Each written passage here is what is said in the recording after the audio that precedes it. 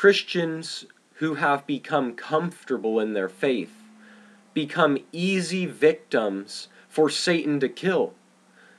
Satan never takes a break from fighting. We are told that Satan is like a lion prowling around seeking who he can destroy.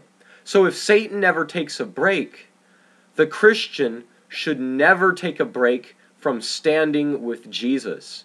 As soon as you start to wander away from Jesus, as soon as you start to relax in your faith, as soon as you think you don't need to live and hold onto the sword of the Spirit, then you'll become an easy victim for Satan. You'll be killed by the devil. We have to daily choose to stand with Jesus and fight against the devil because the devil is always fighting. He is not taking a break. So if he is not taking a break, neither should we. We need to constantly stay close to Jesus, constantly be girded with truth.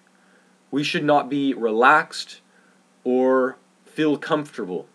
So, are you a Christian who wants to be comfortable, who just wants to find comfortable fellowship, comfortable faith, comfortable church?